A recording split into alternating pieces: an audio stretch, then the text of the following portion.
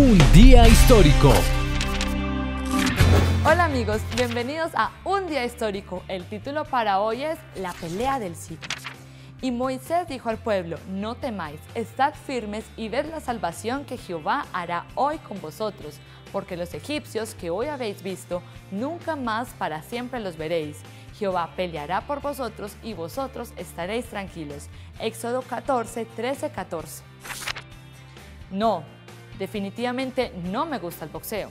No puedo entender cómo llaman deporte más allá de la preparación física que cada pugilista debe tener para subirse al cuadrilátero, a una actividad física que comprende a dos personas golpeándose duramente, a veces hasta mortalmente. Sin embargo, esta fecha es insoslayable.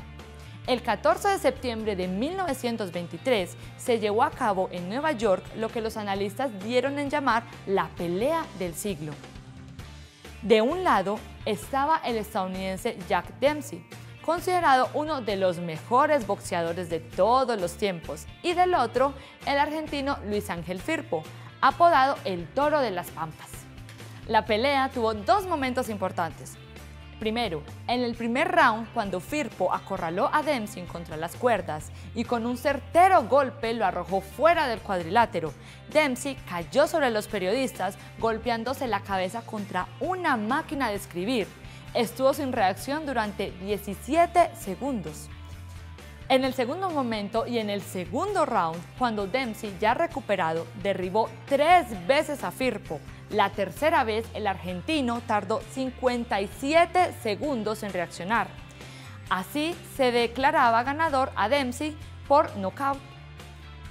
Muchos sostienen que fue un resultado injusto, ya que Firpo mereció ganar por lo hecho en el primer round, ya que la cuenta para la descalificación del adversario es hasta 9 segundos.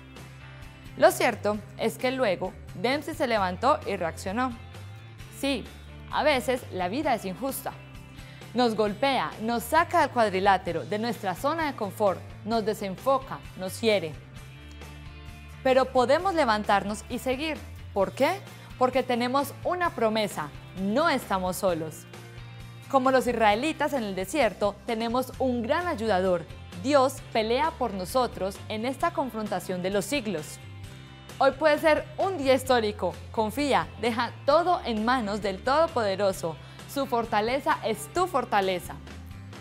El hombre es incapaz de salvarse a sí mismo, pero el Hijo de Dios pelea sus batallas en favor de él y lo coloca en un terreno ventajoso al concederle sus atributos divinos. Y cuando el ser humano acepta la justicia de Cristo, es hecho participante de la naturaleza divina entonces puede guardar los mandamientos de Dios y vivir. Recuerda, haz de hoy tu día histórico.